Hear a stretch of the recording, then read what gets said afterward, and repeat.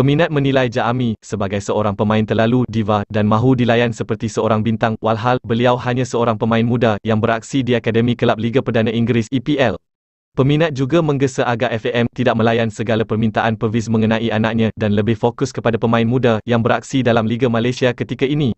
Bahkan ada peminat yang membandingkan sikap Jaami dengan seorang lagi pemain kacukan Dion Cools yang menunjukkan komitmen penuh bagi beraksi bersama Malaysia di mana Dion sanggup untuk mengikuti segala peraturan bagi membolehkannya beraksi bersama pasukan negara. Dalam satu temu bual, Jaami Qureshi menegaskan beliau tidak akan memohon pasport Malaysia yang menjadi keperluan sekiranya beliau mahu beraksi bersama skuad Harimau Malaya di pentas antarabangsa kerana enggan melepaskan pasport British yang dipegangnya ketika ini.